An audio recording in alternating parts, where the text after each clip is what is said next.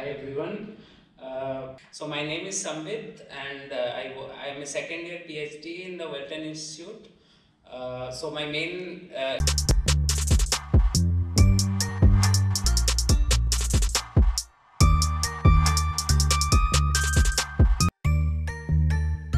area of research is uh, on multimodal learning analytics. Uh, how can we use different kinds of sensors uh, to detect the indicators of collaboration when people work in a group and then facilitate that uh, group work by giving some kind of a real-time feedback. So the main discussion which I wanted to make today was not about my PhD but uh, about giving back.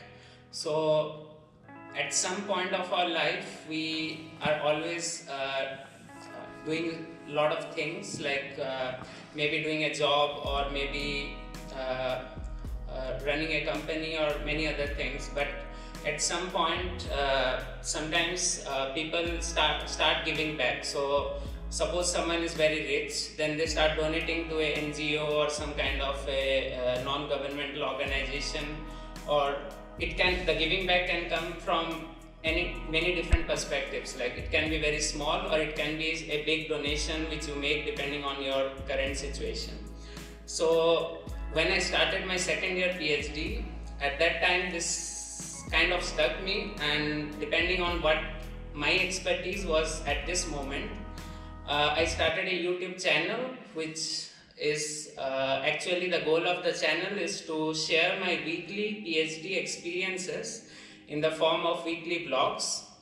And apart from that, uh, as I don't know how many of you know about Quora. Quora is a Q&A platform where people ask questions on different topics like technology, relationships, social, and many other uh, subjects. So uh, the reason I mentioned it is that before starting the YouTube channel, uh, I used to write responses in Quora to uh, queries on how if someone comes to Netherlands, like maybe for masters or PhD, I mean to facilitate the internationals who want to visit Netherlands for uh, studying or working or different kind of things. So apart from sharing my weekly PhD experiences in this uh, uh, channel, I also uh, started to uh, give back to what I know about living in Netherlands for more than three and a half years, like maybe from uh, what kind of qualifications you need or how you find the supermarkets and uh, there are many other stuff, very simple basic stuff to something very complex. So uh, what I wanted to say is that maybe at some point, uh, depending on your time and availability, uh,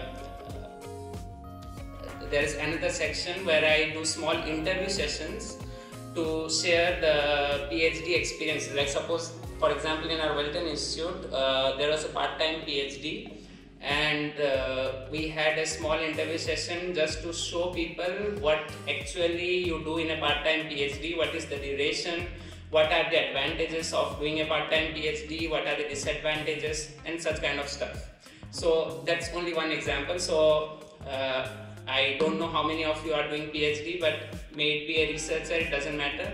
But if you are comfortable in uh, coming in front of the camera and maybe helping people uh, by sharing in some way your experience or something, then you're always welcome to uh, volunteer for uh, creating this content for the world uh, who's watching there and uh, that that will be really like uh, helpful for my uh, goal of giving back to the community out there who want to know more about this kind of uh, current uh, issues and other things.